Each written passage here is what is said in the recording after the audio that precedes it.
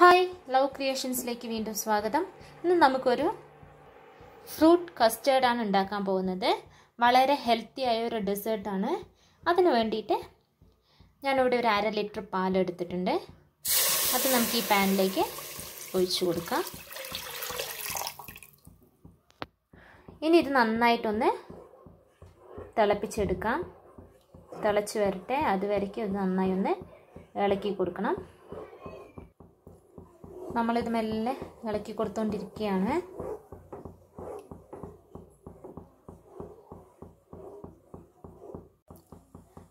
പാൽ നന്നായി തിളച്ച് വരുന്നുണ്ടോ ഇതിങ്ങനെ ഇതിന് മേലെ ഇങ്ങനെ ഇളക്കി കൊടുത്തോണ്ടേ ഇരിക്കണം. ലോ ഫ്ലെയിമിൽ വെച്ചിട്ട് തന്നെ ഇളക്കി കൊടുക്കണം.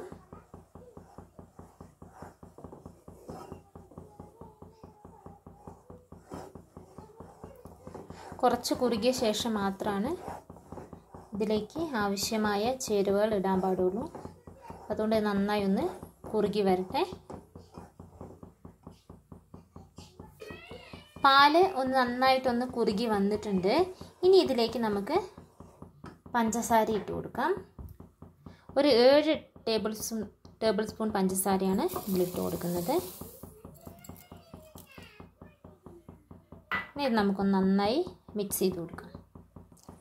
പഞ്ചസാര ഇട്ടിട്ടുണ്ട്. നന്നായി ഒന്ന് മിക്സ് ചെയ്ത് കൊടുക്കുക ഇത് രണ്ടും കൂടി നന്നായി ഒന്ന് കുറുകി വരട്ടെ. അതുവരയ്ക്കും ഒന്ന് നന്നായി ഇളക്കി കൊടുക്കുക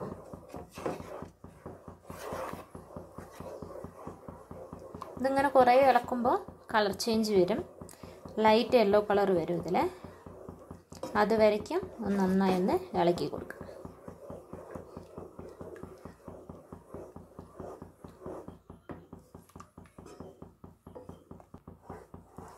ഇതിന് ആവശ്യത്തിനുള്ള മധുരം ഉണ്ടാവുള്ളൂ. ഏഴ് ടേബിൾ സ്പൂൺ പറയുമ്പോൾ അത്യാവശ്യം മധുരം ഉണ്ടാവുള്ളൂ. കൂടുതൽ മധുരം വേണ്ടവർക്ക് ഒരു രണ്ട് സ്പൂൺ എക്സ്ട്രാ ചേർത്ത് കൊടുക്കാം.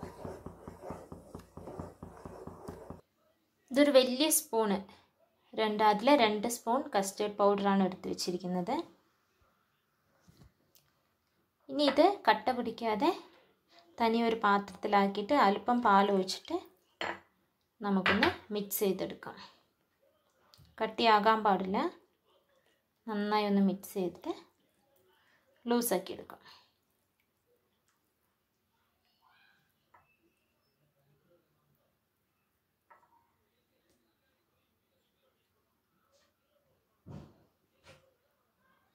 കാൽ ഗ്ലാസ് പാൽ മതിയാവും.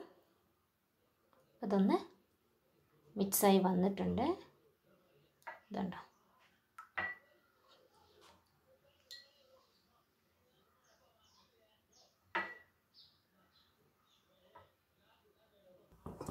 ഈ പാൽ നല്ലൊരു യെല്ലോ ഷെയ്ഡിൽ വന്നിട്ടുണ്ട്. ഇനി നമുക്ക് ഈ കസ്റ്റേർഡ് കലക്കി വെച്ചിരിക്കുന്ന ഈ പൗഡർ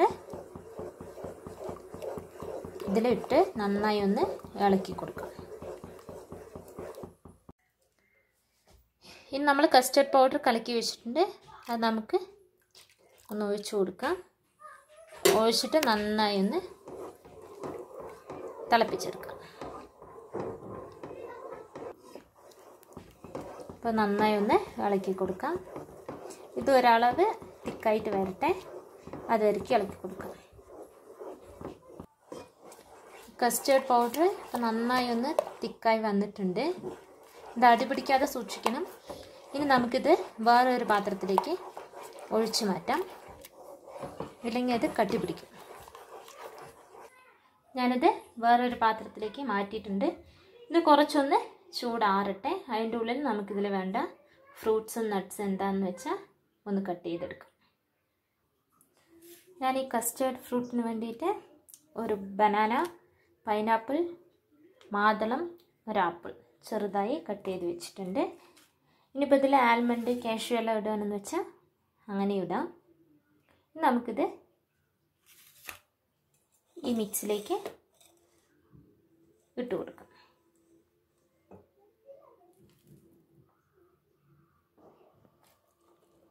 നമുക്കിത് ഫ്രിഡ്ജ് ഉണ്ടെന്ന് വെച്ചാൽ ഫ്രിഡ്ജിൽ ഒരു അരമണിക്കൂർ വെച്ച് തണുപ്പിച്ച ശേഷം സെർവ് ചെയ്യാം. കഴിക്കുകയൊക്കെ ചെയ്യാം. ഇല്ലെങ്കിൽ ഇതൊരു അരമണിക്കൂർ വെച്ച ശേഷം നമുക്ക് കഴിക്കാവുന്നതാണ്. നമ്മുടെ ഹെൽത്തി ഡെസേർട്ട് ഇവിടെ റെഡി ആയിട്ടുണ്ട്. എല്ലാവരും ട്രൈ ചെയ്യുക. എന്റെ ചാനൽ ആദ്യമായിട്ടാണ് കാണുന്നതെങ്കിൽ സബ്സ്ക്രൈബ് ചെയ്യുക ലൈക്ക് ചെയ്യുക സപ്പോർട്ട് ചെയ്യുക. Thank for watching